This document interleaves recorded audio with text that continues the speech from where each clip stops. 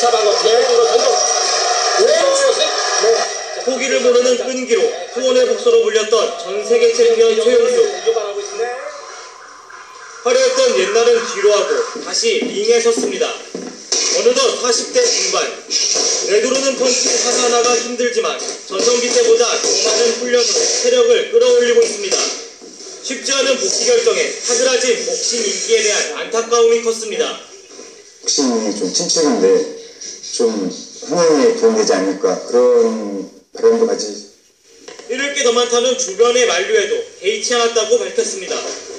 영광스러웠던 과거에 대한 추억보다 아쉬움이 더 컸기 때문입니다.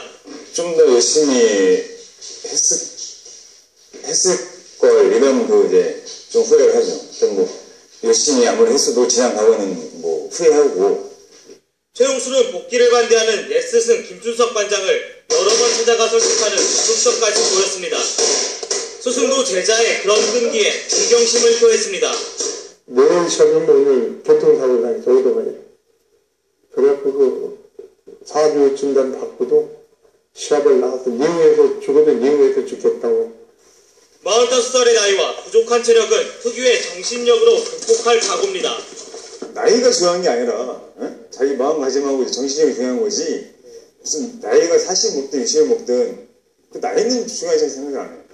비록 상대 선수가 14살이나 어린 젊은 일본 선수지만 최용수는 옛 영광을 잊고 도전자의 자세로 수원을 불사르고 있습니다. KBS 뉴스 문영기입니다.